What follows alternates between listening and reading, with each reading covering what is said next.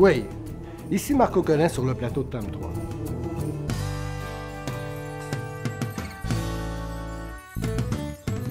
Les 13 nouveaux épisodes promettent de vous faire rêver.